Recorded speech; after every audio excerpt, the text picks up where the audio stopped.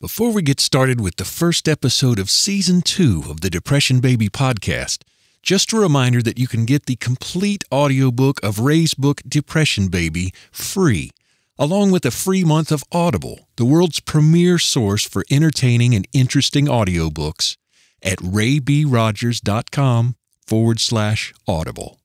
And now, on with the show. Depression Baby stories about growing up in Appalachia and other things too, with my dad, Ray B. Rogers. On August 16, 1929, I came into this world kicking and screaming. I reckon that made me a depression baby. Depression Baby is a World Songs media production.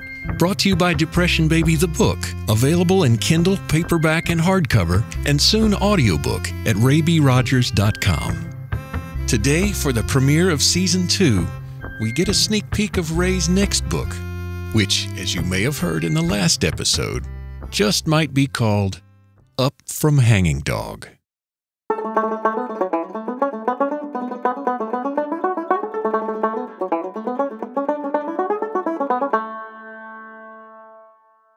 When I tell people I was born in a three room shack without indoor plumbing in a little corner of western North Carolina called Hanging Dog, they must think I've led a miserable life. But that's not true.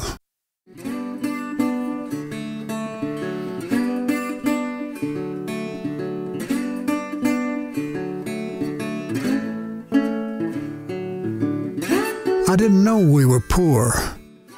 We were surrounded by people that had even less than our family.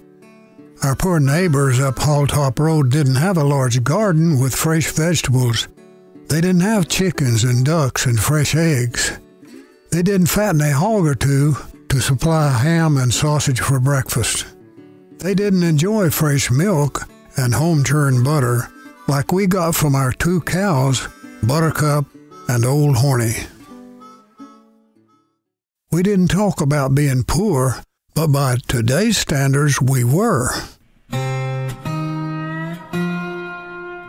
We didn't know how lucky we were that the Lord had supplied us with healthy organic food. But we didn't forget to thank Him.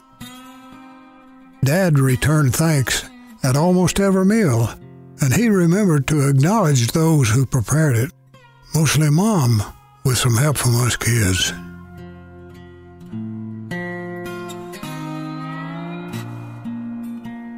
Dad once asked the youngest of our brood to say the blessing. Sister Dale was about three or four years old. She had been taught a proper blessing, but the cheerleaders at a recent football game had really impressed her. Her blessing went like this Big dog, little dog, flop eared pup. Come on, Waynesville, eat 'em up. My friend Sheldon wrote in one of his books that I was born in a cabin. When I said I was born in a shack, he told me that cabin sounded better, but that wasn't hanging dog, where shacks prevailed. In fact, these shacks were my grandfather Medford's retirement plan. He rented them for $10 a month.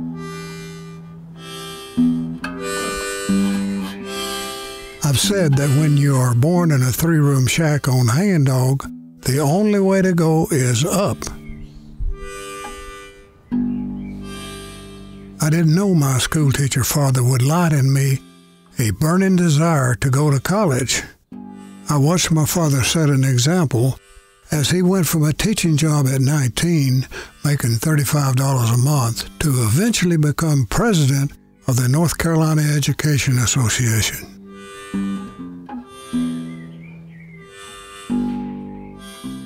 My mother didn't get to finish her schooling since her mother, Maggie, died young. Mother had to raise her younger siblings in addition to her own family of six children. She always regretted not having a better education, and I felt her pain. I've always been very independent. Seeing unemployment and poverty up close during the Great Depression, I wanted to ensure that I would never be in a dependent position.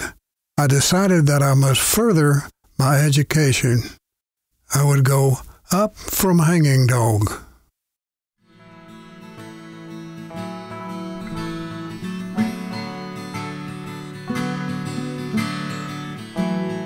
We hope you enjoyed listening to this episode of Depression Baby. And if you did, my dad has one important request. If this podcast brought a little smile to your day, would you please consider right now subscribing for free to the podcast and kindly leaving a nice five star rating and review on iTunes? You can make the difference in getting Depression Baby in front of a wider audience and help preserve this disappearing legacy. Also, you can get the entire audiobook of Depression Baby, the complete stories, for free at raybrogers.com forward slash audible. That's A U D I B L E. Thanks to our audio and musical contributors, including our friend Lobo Loco.